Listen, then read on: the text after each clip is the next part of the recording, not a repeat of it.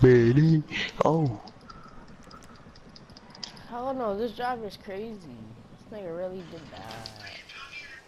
I jumped on, I did what we did last time with those trucks. How you could like take cover on top of it.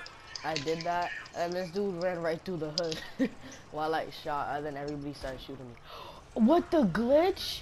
Yo, I just figured out a glitch. I'm inside of it. No way. And you could open the doors? Yo, I'm about to upload this. Yo, I'm about to get mad views. I just found out a glitch. To get in the back of a boxing truck, and if you want to load vehicles, you can if they could get over there. I'm about to up